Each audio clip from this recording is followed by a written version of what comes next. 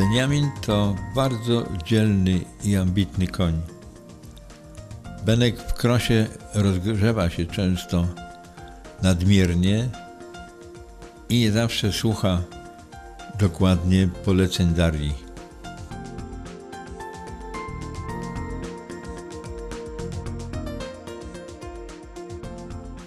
Jazda bez ogłowia daje możliwość przetestowania wzajemnego zaufania i sprawdzenia, na ile można Benkowi ufać podczas pokonywania krosu.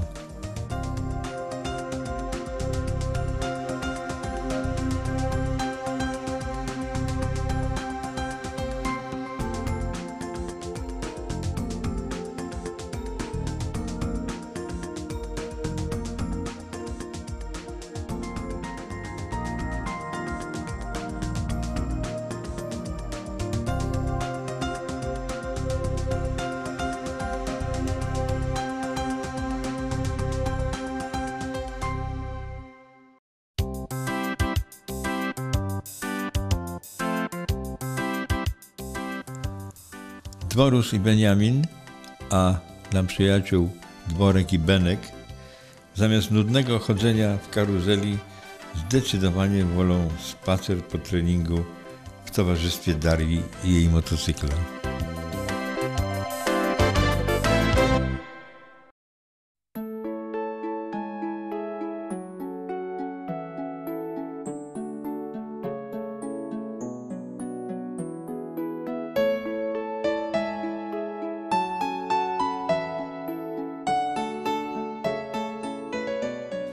Parafrazując znany cytat, można powiedzieć, że taka przyszłość naszego jeździectwa, jakie młodzieży szkolenie.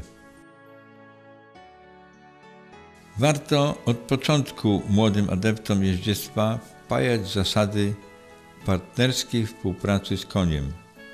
Z koniem traktowanym jak przyjaciel, do którego ma się zaufanie, którego się kocha i z którym należy nauczyć się rozmawiać w języku zrozumiałym dla niego.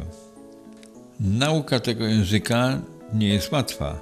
Wymaga od jeźdźca wysiłku, solidnej pracy, pracy nad opanowaniem własnego ciała, tak by można było w pełni kontrolując własne zachowania, czynić je zrozumiałymi dla konia Młodzież trzeba umacniać w przekonaniu, że z przyjacielem koniem rozmawia się nie siłą, nie przemocą, ale wyczuciem, sprawnością umysłu, sprawnością ciała, z dużym dodatkiem prawdziwego uczucia.